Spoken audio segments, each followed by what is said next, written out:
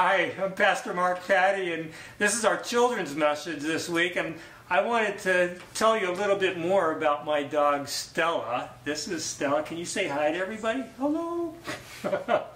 She's so much fun. But something you wouldn't know about Stella is that when we got her just a few months ago, she's really a kind of nervous guy, dog, scared all the time. And so we changed her name from just Stella to Stella the Brave because we wanted her to grow into her name, to think of herself as being brave. I'm not sure she can understand English exactly, but she's been doing that. She's been becoming more and more brave. It's been amazing to see.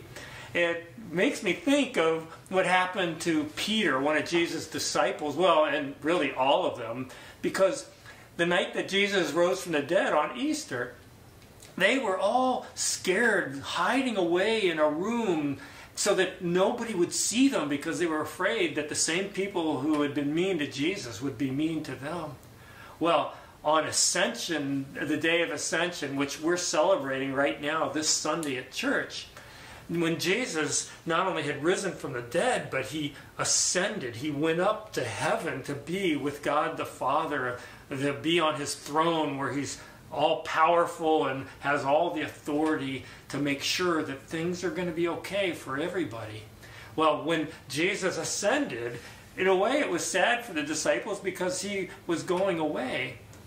But it was completely different for the disciples because now they weren't afraid going off into their room to lock it up, but they were brave when they went back. It, the disciples were told in the Gospel of Luke went back with great joy, in fact, and they went into the temple, the most public, the place where most people were. They wanted to be there to worship God and to tell people that Jesus is Lord. They weren't afraid anymore.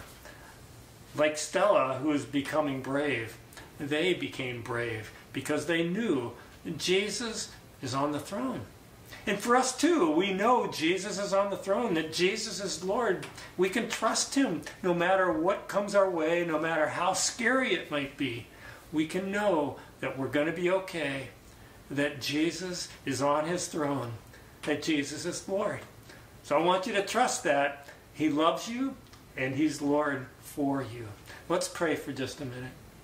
Lord, thank you so much that my dog Stella can learn to be brave and that we can too. And that especially knowing that you're with us, that you love us, that you are Lord, that we can have courage, we can be brave, we can trust you. Thanks for each person listening. I pray your blessing on them right now. In Jesus' name we pray. Amen. God bless you.